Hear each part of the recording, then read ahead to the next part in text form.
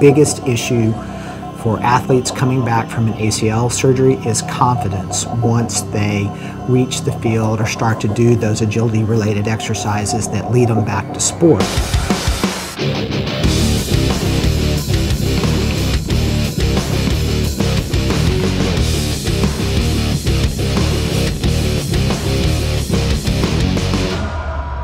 ACL braces, specifically the DonJoy Defiance, which is my favorite brace, definitely brings a high level of confidence that let them progress through these skills uh, as they come back to play their sport.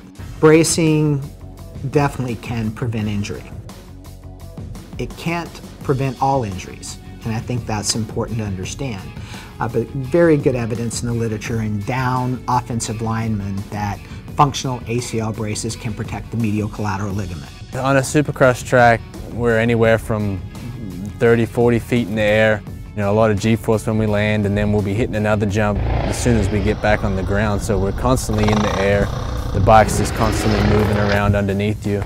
So, you know, the, the forces that go through our body and go through your knees is incredible. I've tried many other brands to give support and been forced to try other products and I've always come back to DJO Global and the DonJoy brace. They've always given me the best support for my uh, knee and I don't trust anything else. In the sports medicine world, everything is expected to happen today.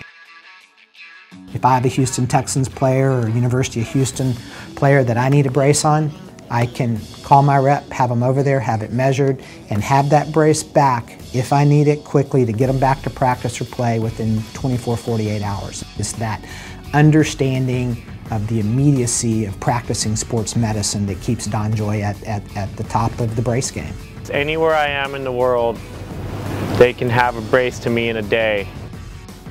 The customer service is above and beyond any company I've ever worked with.